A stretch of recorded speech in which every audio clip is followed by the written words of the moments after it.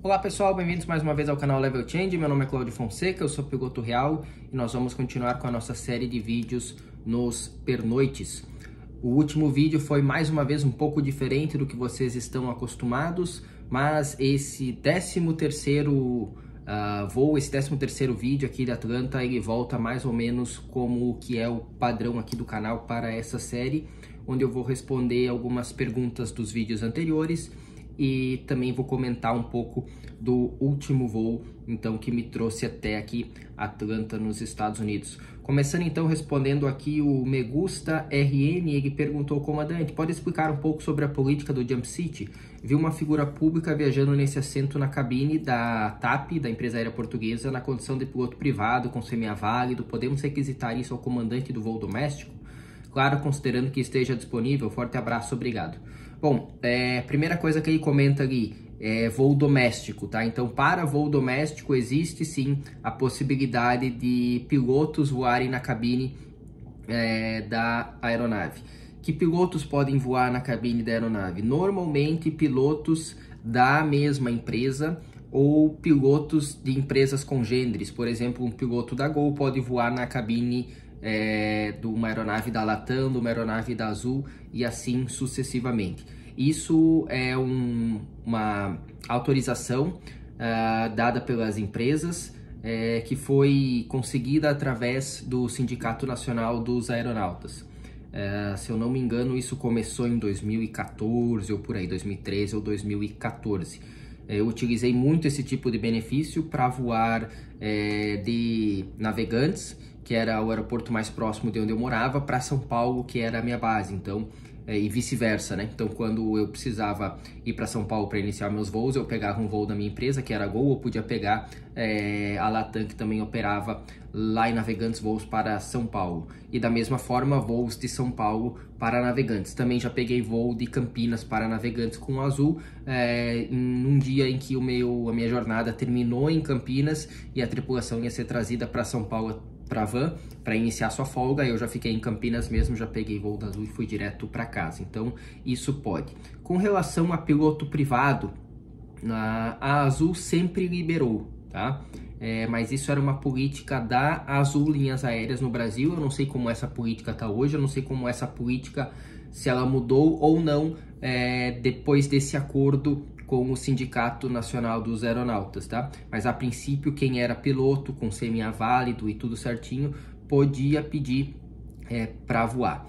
É, é, um negócio um pouco complicado de qualquer forma, porque é, além de uma autorização da empresa dizendo que os comandantes podem liberar esse jump seat para é, outros pilotos, o comandante em si da aeronave tem que estar satisfeito com você ali. Tá? Então, é, nem sempre você vai conseguir voar. É, mesmo tendo essa liberação da agência nacional através do sindicato das aeronautas, dos aeronautas e das empresas, é, caso o piloto em comando de uma aeronave específica é, acreditar que é melhor para a segurança de voo não ter ninguém ali dentro ou não ter uma pessoa específica ali dentro, ele pode negar o embarque dessa, dessa pessoa, tá? É, então é, eu acho difícil hoje no Brasil você simplesmente sendo piloto privado, CMA válido, conseguir voar, tá? Então, pode ser que, que aconteça se você conseguir principalmente explicar, né?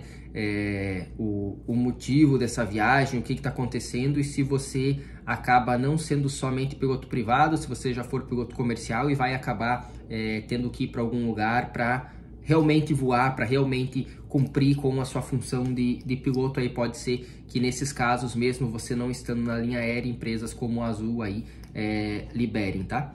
Mas por exemplo na Gol que eu voava já eu posso dizer que era impossível naquela época e continua sendo impossível se você não for piloto de linha aérea estar ali dentro. Ou você é piloto da, da Gol ou funcionário da Gol é, ou você é piloto de uma das outras empresas tá Uh, o Arnon, ele falou, Boa Fonseca, sobre a questão do GPS falhar em algumas regiões, soube que estão ocorrendo algumas tempestades solares e que elas interferem nos rádios. Sabe se elas podem interferir no GPS dos aviões ou em algum outro equipamento?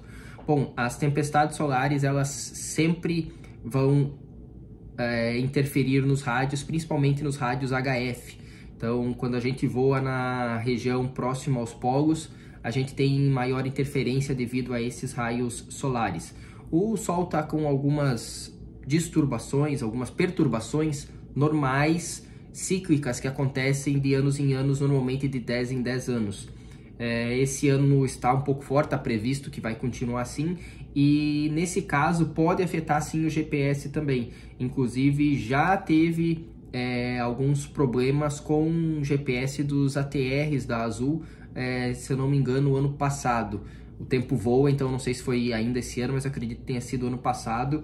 É, e enfim, pode, pode afetar sim, tá? É, não só os, os aviões, como podem afetar qualquer equipamento eletrônico. Então não se descarta a possibilidade de nesse ano alguns equipamentos eletrônicos na sua própria casa serem aí fritados pela, por essa questão do, do sol das tempestades solares, tá? Então é possível sim. Então é bom ficar ligado em procedimentos alternativos, em saber é, o que fazer em condições em que você não vai ter aí o seu GPS disponível na aeronave ou algum rádio, então os procedimentos de contingência e os procedimentos de emergência serem seguidos nesses casos, tá? Uh, o Paulo falou, membro do canal, acho que é o primeiro, ah, o Me Gusta RN também é membro do canal, obrigado pelo apoio. O Paulo aqui também mandou, valeu Fonseca, obrigado por atender meu pedido anterior, como sempre um excelente vídeo com informações que acontecem na realidade e nas operações aéreas. Uma curiosidade, comando, não voo tão rápido e com aeronave vazia, no caso Guarulhos e São Paulo, como foi comentado, são executados por pilotos reservas, se é que existe, ou pilotos que estão ali na linha. Bom, pilotos reservas eles existem, existem pilotos de reserva que eles estão no aeroporto, existem pilotos de stand-by que eles estão em casa, eles podem ser chamados para fazer esses voos se eles não forem previstos. Eu, por exemplo, já operei esses voos entre Guarulhos e, e São Paulo Congonhas e foi numa chegada de programação, ou seja, é, eu fiz um voo só, era, eu não, se eu não me engano, foi um Salvador, Guarulhos, e chegando em Guarulhos tipo por volta de 6 ou 7 da manhã e a minha programação encerrava ali, era só isso. E aí eu ia pegar um ônibus para é, Congonhas, onde lá de Congonhas eu ia pegar um voo para casa. E, e essa e uma aeronave que estava lá em Guarulhos por um problema qualquer ou por um, uma alternativa qualquer, eles precisavam ter ela em Congonhas. E aí, conforme os pilotos iam pousando em Guarulhos, é, a empresa ia perguntando quem gostaria de fazer esse voo para Congonhas, porque basicamente deu o mesmo tempo do ônibus, tá? É, porque você precisa ir para a aeronave, você precisa fazer todos os cheques, você precisa ter autorização do voo, você precisa fazer o voo em si, e você precisa chegar em Congonhas, e você precisa desembarcar, e aí sim você está é, no mesmo ponto em que você estaria se você tivesse pegado o ônibus lá. Então, não me ajudou muito em questão de tempo, mas ao menos eu não precisei ficar estressado ali com aquela questão do trânsito entre Guarulhos e Congonhas. E eu fui um dos que aceitei fazer esse voo, então tinha eu e o comandante também queria. É, acabou fazendo esse voo aí. Então a empresa sabe que esse voo especificamente é um voo que alguns pilotos gostariam de fazer, porque vai levar aí para outro aeroporto. Então eles nem precisaram acionar um reserva ou um stand-by, mas se fosse o caso, ia pegar alguém que está de reserva lá no aeroporto de Guarulhos para fazer esse voo e dependendo da situação ainda ia mandar ele de táxi ou de ônibus de volta para Guarulhos para ainda assumir outra coisa ou algo do tipo, ou até em Congonhas continuar a programação. Aí é o planejamento da empresa, tá? Então, os dois casos podem acontecer. Bruno Lima, também membro do canal, um dos mais antigos membros aqui do canal, manda boa noite, comando, grato pela resposta. Mais um vídeo top. Já voou para Barrajas, que é o aeroporto de Madrid. Já voei sim, aeroporto muito complicado de taxiar. É, você precisa entender como funcionam as taxiways lá e a nomenclatura das taxiways para você não se perder, porque lá cada segmento de taxiway, por exemplo, é, para quem conhece aí um pouco os aeroportos no Brasil, digamos que você tem lá uma taxiway alfa que se estende por um bom, um bom pedaço do aeroporto e tem várias taxiways que cruzam essa taxiway alfa. No Brasil a gente chama ela de alfa, toda ela é alfa. É, na, em Madrid, mais ou menos, é como se eles chamassem o primeiro pedacinho da alfa de alfa 1, depois da próxima taxiway alfa 2, depois da próxima alfa 3 e assim por diante.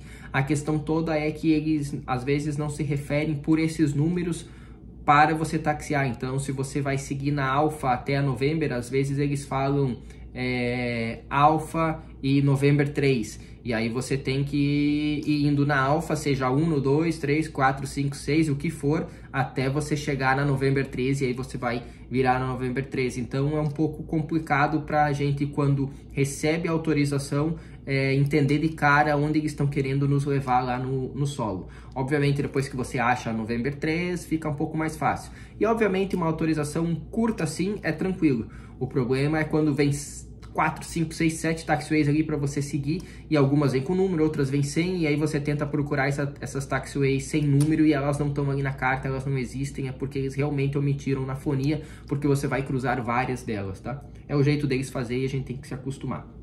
O Janilson manda boa noite, Fonseca, eu queria fazer uma pergunta, quantas horas de voo por mês você faz? É, bom, o, e também por ano o nosso limite é, na minha empresa no Oriente Médio eram 900 horas por ano dentro da cabine, ou seja, as horas de descanso não contam. Como eu estou em Atlanta indo para o Oriente Médio agora, então eu vou fazer um voo de em torno de 13 horas e somente 7 horas, aí 6 horas e meia ia contar para essa regulamentação. Então era muito comum é, fazer em torno de 1.100 a 1.200 horas por ano, o que daria uma média de 100 horas por mês. Contando que a gente tem férias, alguns meses acaba voando um pouco mais de 100 horas, alguns meses acaba, alguns meses acaba voando um pouco menos. Agora, a partir de 1 de abril, a regulamentação muda e a gente continua com o limite de 900 horas no ano, mais 900 horas totais. Então, esse voo de 13 horas vai contar realmente 13 horas na regulamentação. Então, eu não vou poder voar mais do que 900 horas no ano. O que, se a gente dividir aí por 12, dá uma média de 75 horas por mês. Tá? É, o que melhora muito a, a nossa a eh, vida social, acaba voando menos Uh, tem que contar que não vai ser apenas 75 por mês, porque tem os meses que vocês estão, que a gente está de férias. Eu tenho 42 dias de férias por ano, é, então vai dar uma média aí de 85 horas por mês, eu poderia dizer para vocês aí, fora os meses que se tem férias, tá? Lembrando que essas horas são contadas a partir do momento em que o voo inicia até o ponto em que o voo termina não conta o tempo que a gente tem que chegar antes no aeroporto para preparar o voo ou para preparar a aeronave, não conta é, o tempo que a gente está é, no chão entre um, entre um voo e outro, e não conta o tempo de desembarque dos passageiros, ou seja, é o tempo de motor ligado, basicamente, tá? Então, a nossa isso é o que a gente chama de, de hora de voo, mas a nossa jornada ela se estende por um tempo maior que esse, tá?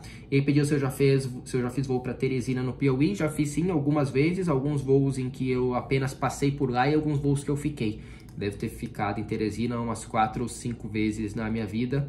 É um hotel muito bom lá em Teresina que a Gol nos, nos deixava, eu acredito ainda ser o, ser o mesmo. Como Teresina sempre está quente, era um hotel legal, hotel com piscina, sempre que tinha é, um tempo bom de pernoite aí, era, era comum e dar uma, uma mergulhada, uma nadada lá na, na piscina. Ah, é o que eu mais lembro desse, desse hotel aí em Teresina. Uh, o Rodrigo, só passando para agradecer os ensinamentos uh, preciosos em todos esses vídeos, você anota mil, obrigado. Na verdade é que eu já começo a ler as, as perguntas do último vídeo, o último vídeo foi um pouco diferente, quem quiser voltar lá no 12 vídeo, um vídeo onde eu trouxe alguns uh, pormenores do voo que eu ia fazer naquele dia. Como eu disse, é, foi um vídeo que eu gravei e acabei fazendo o upload para o YouTube mais tarde por questões de segurança sensíveis que eu falei naquele vídeo ali e não poderiam ser disponibilizadas, digamos assim, para o público em geral é, antes uh, do voo acontecer. Na verdade, não é que não poderiam.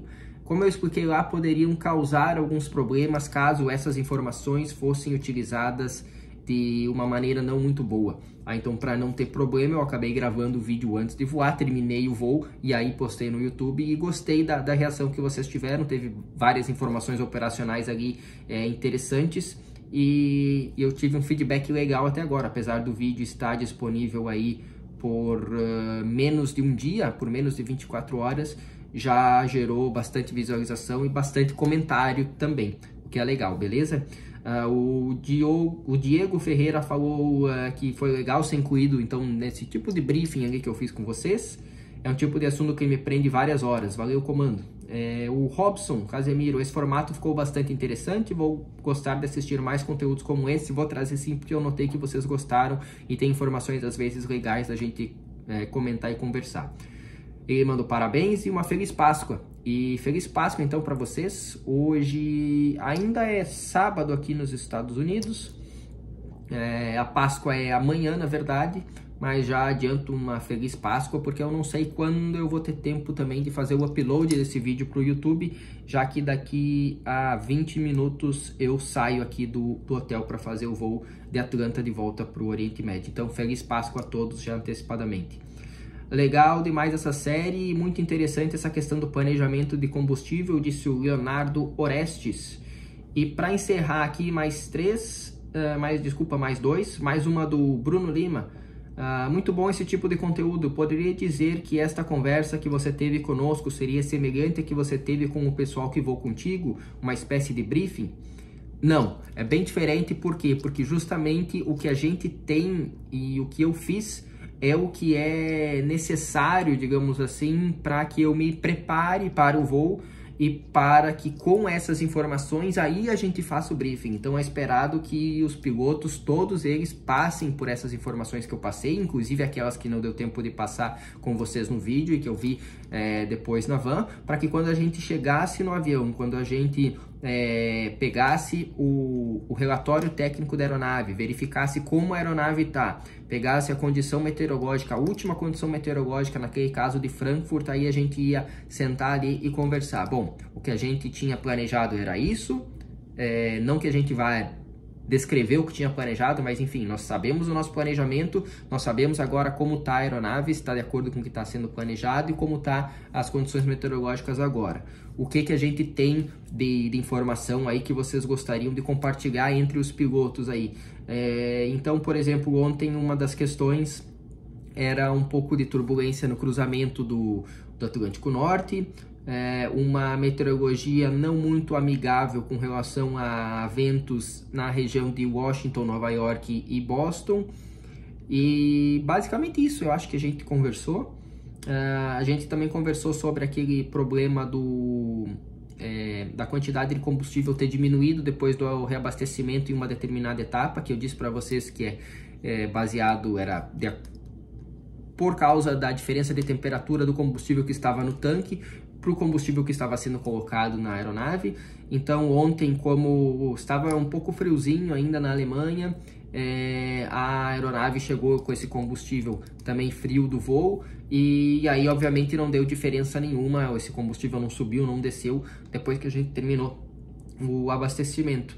Mas a manutenção estava preocupada com isso e, e, pela manutenção, na verdade, ela colocou aquele 400 quilos de combustível que era que estava com, digamos assim, que tinha dado discrepância em alguns voos anteriores ou em um dos voos anteriores, a manutenção lá é, entrou em contato com nós e perguntou se eles poderiam incluir, colocar mais aqueles 400 quilos, é, porque eles não queriam ter que tomar uma ação caso acontecesse é, de novo. E como eu disse para vocês, a gente estava a 23 mil quilos do peso limite para o voo de ontem, então 400 quilos a mais não era um problema. E obviamente todo o combustível que vem extra para os pilotos, principalmente quando não é solicitado pelos pilotos, porque daí a empresa não incomoda que a gente solicitou é, e não pede explicação porque foi solicitado também, para nós é ótimo, daí quem ia ter que se explicar era aquela equipe de manutenção lá e eles tinham um motivo que era justamente é, uma informação no relatório técnico dessa aeronave, tá?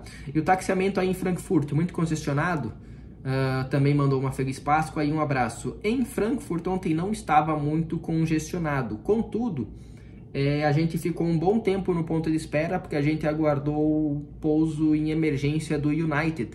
Eu não sei o que aconteceu com o United ontem, era um 777, e quando a gente chegou próximo ao ponto de espera, a Torre Frankfurt nos falou: ó, vai ter que aguardar um pouquinho aí, é, porque tem uma aeronave chegando em emergência. Na verdade, a gente já sabia que ia vir alguém em emergência, porque a gente viu vários caminhões é, do, de bombeiros é, em volta da pista, algumas outras viaturas que também fazem vistoria da pista, não estão lá para verificar ou para ajudar a aeronave que está vindo em emergência em si, mas para fazer a vistoria, para garantir que as outras aeronaves possam operar naquela pista depois. Então a gente viu a movimentação ali, não sei o que aconteceu, porque o United pousou, livrou a pista e taxiou para uma posição é, a princípio sem problemas, mas toda hora o controle perguntando né, se deveria, se eles estavam se precisavam de algum auxílio, se podiam taxiar, se não podiam taxiar e assim sucessivamente. Eles não tiveram nenhum problema maior, então eu não sei o que aconteceu. Se vocês procurarem aí na internet, hoje já deve ter alguma coisa aí com relação a esse 777. É, eu acredito que ele tenha decolado de Frankfurt e tenha voltado para Frankfurt, tá? É isso que eu, que eu acredito, que ele teve algum problema e precisou voltar. É, mas, assim, pela, pelo jeito da, do que aconteceu, tá? Mas de qualquer forma, se vocês procurarem aí na internet é, o, alguma informação sobre essa aeronave e tiver uma extensa gravação aí das conversas com a torre, talvez vocês vão até me escutar na fonia lá, conversando com a torre, é, quando ela disse pra gente que vai demorar um bom tempo e depois nos autoriza a alinhar e decolar. A gente foi a primeira aeronave que decolou após esse pouso aí do United, beleza? É... E o Jadson Oliveira mandou ótimo vídeo. Tem algum macete que vocês usam para não se perder com as informações passadas na fonia? Vocês anotam algo do tipo? Sim. É, antes do voo começar em si, é, no próprio plano de voo, uma caneta ali, essa canetinha que está aqui, a gente usa e anota no próprio plano de voo, autorização do, do voo em si, é, a informação de um ATIS, coisas que não estão na tela ali para nós, quando a gente não recebe na tela, a gente anota, tá? Depois que inicia o voo, principalmente instruções de táxi, normalmente o piloto que está monitorando anota no FMC. Usa aquela linha do FMC que a gente normalmente escreve alguma coisa e coloca ali o, o nome das taxiways que a gente vai taxiar, onde, antes de onde tem que parar. Então, para mim, eu sempre anoto as taxiways e sempre quando dão uma autorização, ah, é, Alfa Bravo, é, aguarde antes da Charlie, eu anoto A, B, ponto C, ou seja, eu taxio na Alfa, na Bravo e eu ponto, eu paro antes da Charlie. Essa é a minha técnica de fazer. Alguns utilizam uma barra e assim sucessivamente. Então eu vou, eu deixo ali e quando o controle vai passar uma nova autorização, eu rapidamente seguro o botão de clear que apaga tudo ali, segura um segundo ali o botão ele apaga tudo, né? ao invés da click segura ele apaga e aí eu coloco a nova autorização e assim vamos indo até eu ter uma nova autorização ou até eu chegar no limite daquela autorização. Alfa Bravo aguarda antes da char e Alfa Bravo cheguei antes da char e parei, vou lá e já libera aquela informação para colocar ali de novo. É, e caso aconteça alguma coisa muito específica, aí o piloto que está monitorando pode pegar novamente o plano de voo e escrever alguma coisa ali. Em voo, eu também acabo anotando ali é, mudanças de frequência, ou quando está sendo vetorado, eu já escrevo é, a proa, a altitude, e eu vou colocando ali uns números, valores que vão me lembrando de cotejar o controle, e a partir do momento que eu cotejo, o outro piloto que está voando faz as modificações, e a partir do momento que eu confiro as modificações, eu vou ali, deleto e a gente segue o voo, tá? Então é mais ou menos isso que eu faço. Então eu utilizo muito o FMC para é, escrever ali, fazer um rascunho mesmo, né? Do que é que tem que fazer. Por exemplo, uma troca de frequência. Chame Centro Brasília 123 decimal 50. Eu escrevo ali 12350. No caso, nas frequências eu nunca escrevo 1, porque eu sei que frequência VHF vai sempre começar comum. Eu boto ali 2350. Então 2350. Eu sei que a frequência é 123 decimal 50. Eu ajusto a frequência e e depois chamo aeronaves novas como o 787 já tem alguns é, rádios que você acaba digitando a frequência standby. Então eu não precisaria ir no FMC, digitar e depois digitar no rádio. No próprio rádio eu já digito, os pilotos já digitam aquela frequência e ela já entra ali no, no standby. Depois é só apertar no botão de mudança, você já fala com um novo controle. Então mais um, uma mudança aí é, que ajuda os pilotos, né? Tecnologia aí que está ajudando os pilotos, tá? Mas é sempre importante ter uma caneta, ter um papel, a galera que acompanha aqui o meu canal e voa online, voa Ival, voa Vaccine, tenha um papel e uma caneta sempre, sempre do seu lado ali, tá? É, por mais que mesmo durante o táxi você tenha um, um, o FMC ali para você escrever. É complicado você pegar o mouse e ir lá. A não sei que você tenha um FMC físico ou, ou, um FMC num tablet que você consegue clicar nos botões, aí você consegue ser rápido o suficiente para escutar e apertar nos botões. Se não, o mais rápido é você escrever. Então, quem não tem essas, esses hardwares físicos ou num tablet, alguma coisa assim, usa um papel e uma caneta, deixa ali do seu lado, recebeu a autorização do controle, mesmo que seja uma autorização de táxi, escreve ali do ladinho, beleza? Escreve ali porque é, você vai se perder, você vai esquecer se não tiver em algum lugar, tá? Então, deixa isso aí sempre anotado. Bom, era isso das perguntas dos últimos vídeos. É, o voo de ontem de... Uh, Frankfurt para Atlanta. Então, o mais curioso que aconteceu foi esse United, esse 777 da United voltando em emergência. É, não notamos nada diferente na aproximação dele, ele passou do nosso lado, baixinho ali, cruzando a cabeceira, apesar de que me pareceu que ele tocou um pouco à frente, me pareceu que ele estava realmente pesado, e aí o piloto tentou é, diminuir bem a razão antes de chegar na pista para poder fazer um arredondamento mais tranquilo e não fazer um pouso duro com uma aeronave pesada acima do peso máximo de pouso, eu acredito que eles pousaram, tá? Apesar de não ter tido nenhuma informação sobre isso. Uh, depois o voo foi, foi tranquilo. O, aqui em Atlanta a gente pousou na pista 27 da esquerda, em que o ILS, ou melhor, o Glide Slope estava inoperante, então estava operando a aproximação visual. Como a gente chegou bem no pôr do sol, foi o momento que o controle cancelou as aproximações visuais e começou a pedir para o pessoal fazer ou o RNAV ou a aproximação localizador somente sem o, o glide. Como o RNAV que ele pediu era o, era o, desculpa, era o RNAV PRM, que é de aproximações próximas, porque estavam operando três das cinco pistas para pouso e a gente estava justamente na pista do meio, é, a gente não pode fazer o ILS-PRM porque tem alguns procedimentos específicos caso você tenha, caso alguma outra aeronave que está em aproximação nessas pistas do lado acabe vindo na sua direção em alguns procedimentos que requerem um treinamento específico que a, a, minha empresa não, não nos dá, então a gente não pode fazer esse, esses procedimentos específicos, então a gente acabou fazendo o procedimento localizador é, somente para a pista 27 esquerda, mas o tempo estava muito bom realmente, o que a gente chama de cavoque, ainda está cavoque, não tem uma nuvem no céu aqui em Atlanta, desde ontem ao menos, desde o momento que eu cheguei, então não foi um problema para a nossa aproximação, apesar de que é algo muito incomum para o 777, é muito raro da gente pousar um 777 sem um ILS, tá? Eu vou dizer para vocês que 99% das aproximações a gente faz um ILS, é, 1% faz um RNAV e é muito raro de fazer. Acho que foi a primeira vez em 7 anos de 777 que eu realizei na vida real um procedimento localizador somente. É, obviamente não é um problema, a gente utilizou o localizador para aproximação, modo de rampa a gente utilizou o VNAV, apesar de não ter ILS, o VNAV, nosso FMC, nos levou até praticamente o cruzamento da cabeceira, então sem problema nenhum, mas não é algo comum de, de ser feito.